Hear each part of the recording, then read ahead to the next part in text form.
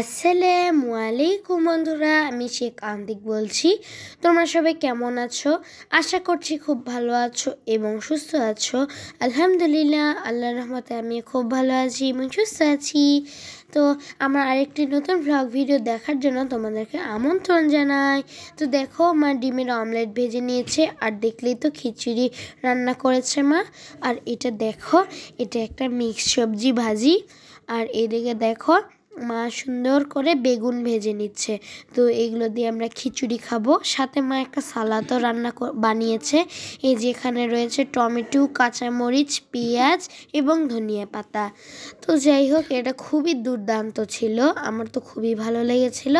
আর এখন দেখো, আমি খাওয়া দাওয়াও শুরু করে দিয়েছি। অনেক টেস্টি খিচুড়ি আমার অনেক প্রিয়, জানো তো? এই যে আমি খুবই মজা করে খাচ্ছি লেবু চিপে। মা সাথে তো লেবুও দিয়েছিল, তার জন্য আরও ভালো লাগছিল খেতে। এই যে আমি সুন্দর করে লেবু চেপে চেপে খেয়ে নিচ্ছি, আর জানো তো, টমেটো দিয়ে খেতে ভীষণ ভালো লাগছিল। মানে মা যে সালাদ বানিয়েছিল, সেখানে টমেটো ছিল, সে, সেগুলো টমেটো দিয়ে খেতে খুবই ভালো লাগছিল। আর জানো তো, টমেটো আমার খুবই প্রিয়, আর সালাদের টমেটো দিয়ে খিচুড়ি খাচ্ছি, তে আমার আরও ভালো লাগছিল। আর খাবারগুলো একদম দুর্দান্ত ছিল।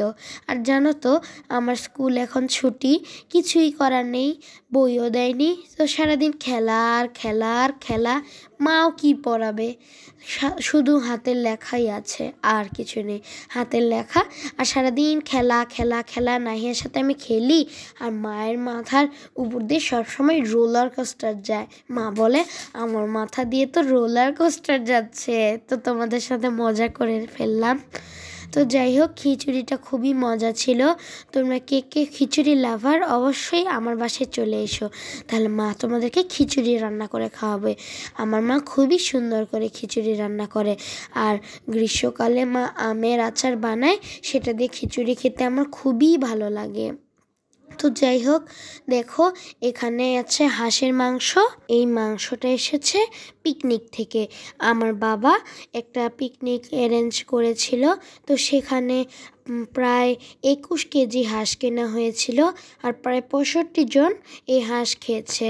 আর জানো তো, শীতের দিনে হাঁস খেতে খুবই ভালো লাগে। তো বাবা আমাদের জন্য কিছু হাঁসের মাংস পাঠিয়েছে।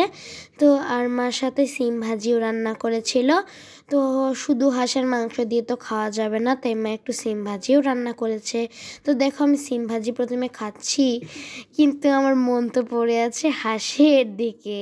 তো এখন দেখো আমার তো আবারও জিভে জল আসছে। মুখে দিলাম আর আবার মুখে ভাত দিলাম। এত মজা বন্ধুরা, একদম কাবাবের মতো ফ্লেভার পাওয়া যাচ্ছে। আর কাবাব থেকে খুবই সুন্দর একটা ফ্লেভার কি বলব তোমাদেরকে? অনেক ভালো লাগছিল খেতে। আর জানো তো, এই হাঁসের মাংসটা রান্না করেছিল মিন্টু চাচু আর আমার এটা খাওয়ার পর ইচ্ছে করছিল মিন্টু চাচুকে বলতে যে, এই হাঁসের মাংসটা খুবই মজাদার। আর দেখো নাহিয়া আর লোভ সামলাতে পারেনি। ও তো আগেই হাঁসের মাংস খাওয়া শুরু করে দিয়েছে। দেখো কি মজা করে খাচ্ছে। ওর তো খুবই ভালো লেগেছিল। আসলেই কিন্তু হাঁসের মাংসটা টেস্টি ছিল। তার মধ্যে এখন শীতকাল, তো আরও ভালো লাগছিল। আমি তো খুবই মজা করে খেয়েছি নাহিয়াও মজা করে খেয়েছে ফুপিও বলছে কত টেস্টি হয়েছে, কে রান্না করেছে? মাও বলছে, অনেক টেস্টি বাবাও বলছে, অনেক মজা হয়েছে। তো দেখো আমি কত মজা করে খাচ্ছি। আর জানো তো, আমরা দুজন আবারও নিয়েছিলাম, এত মজা। আর জানো তো, আমাদের এত খাওয়া দেখে দিদারও খেতে ইচ্ছে করছিল, তো দিদা একটু খেয়েছিল।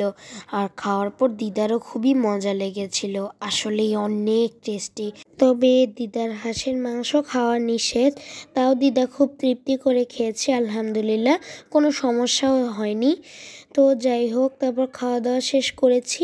আর বোম্মা এসেছে। বোম্মা এসে নাহিয়াকে নিয়ে গেছে। আর তারপর মা ফিস ডম খেলছিল। তো আমি দেখছিলাম, তারপর অনেক রাত হয়ে গেছিল। তারপর বাবা এসেছে।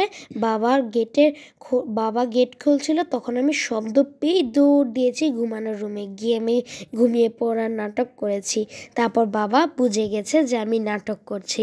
বাবা খুবই ভালোভাবে বুঝে ফেলে। আর তারপর আমি ঘুমাতে চলে গেছি আর মা রাত জেগে ফিজডম খেলছিল। আর খেলতে খেলতে মা এক লাখ টাকা আমাকে ইনকাম করে দিয়েছে। কারণ আমি মাকে বলেছিলাম, মা প্লিজ আমাকে এক লাখ টাকা ইনকাম করে দিও। তো বন্ধুরা ভিডিওটি ভালো লাগলে লাইক করে দিও। আল্লাহ হাফেজ!